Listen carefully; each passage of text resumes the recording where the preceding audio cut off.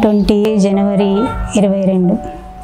ఆ ఐదున్నర ప్రాంతంలో దేవుడికి ఎన్నిసార్లు థ్యాంక్స్ చెప్పుకున్నా నేను. తక్కువే. వాడు నా చేతికి రాగానే కృష్ణయ్య గుర్తుకొచ్చాడు నాకు. ఆ ప్రసాదమే అనుకున్నాను నేను. తర్వాత వాడి ఆటలు వాడి నవ్వులు చూస్తుంటేనే కడుపు నిండిపోతుంది. లైఫ్లో ఏం మిస్ అయినామో ఎన్ని మిస్ అయినామో అది అనుభవించిన వాళ్ళకే తెలుస్తుంది. చాలా అసలు బయటకు వెళ్ళాలంటే భయం అనిపించేది నాకు. బయటకు వెళ్ళ వెళ్ళలేని పరిస్థితిలో ఏడ్చుకుంటూ ఇంట్లో కూర్చున్న రోజులు చాలా ఉన్నాయి. అయినా అవన్నీ కన్నయ్య వచ్చాక మరిపించేసిండు. వాడిని చూస్తుంటే అంతే లైఫ్లో ఇంకా విన్ అయిపోయినాం. ఇంకా ఏ ఏది అక్కర్లేదు అనిపిస్తుంది. అంతే వాడు ఉన్నాడు చాలు అంతే. వాడి ఆటలు వాడి నవ్వులు వాడి అమ్మ అమ్మ అని పిలవడం ఎప్పుడైతే స్టార్ట్ చేశాడో నా మనసులో ఉన్న బాధ అంతా ఫీలింగ్ అంతా పోయింది. వాడు ఏడుస్తూ అమ్మ అని పిలుస్తుంటే ఎక్కడ లేని బాధ అనిపిస్తుంది. ఏంటి వీడికి? ఏమైంది ఏమైంది? ఏమనిపిస్తుంది? ఇంటి ఏంటి? ఇంకేమైనా తెచ్చేయాలా వీడికి? ఇంకేమైనా తక్కువ చేస్తున్నానా? అన్నీ ప్రతిదీ ప్రతి సంతోషం వాడికి అందించాలని అనిపిస్తుంది నాకు. అంతే. చాలా ఉన్నాయి వాడి గురించి చెప్పాలంటే కానీ నేను ఒక్క మాటలో చెప్పలేను.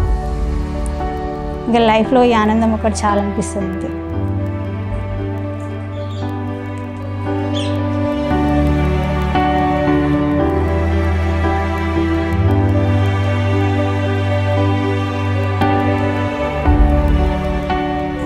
ముందుగా మా అమ్మ నాన్నకు నమస్కరించుకుంటున్నా.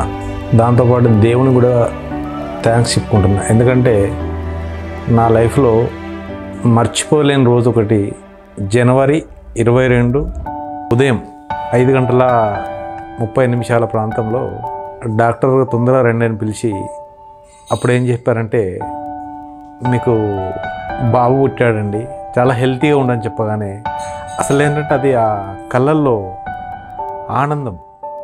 అసలు నా గుండెల బరువు అంతా ఎంతో బరువున్న బరువును వాడు వచ్చిన తర్వాత తగ్గిపోయిందండి. వాడి నవ్వు తర్వాత వాడి చిన్న చిన్న కోపం చిన్న చిన్న ఆటలు నన్ను గిచ్చడం కొట్టడం తర్వాత అలగడం ఏడవడం అన్నీ చేస్తుంటాడు. ఎట్లంటే తీపి కారం పులుపు ఇట్లాంటిది ఎలా ఉంటుందో టేస్ట్ అది నోటికి మాత్రమే తెలుసు కానీ ఏంటంటే ఆ వాడి ఫీలింగ్స్ మనసుకు తెలుస్తున్నాయి ఇప్పుడు నాకు అసలు. అప్పుడప్పుడు ఏడుస్తుంటాడు. ఏడిస్తే అసలు ఏంటంటే గుండె బరువెక్కుతుంటుంది. ఎందుకు ఏడుస్తుంది వీనికి ఏం చూడాలి? ఏం చేయాలనేది కానీ ఏంటంటే ఏడ్చిన తర్వాత మళ్ళీ రిలాక్స్ అయ్యి మళ్ళీ నవ్వుతుంటాడు ఆ నవ్వగానే అసలు ఏంటంటే ఇక ఆనందం మనం చెప్పుకోలేము.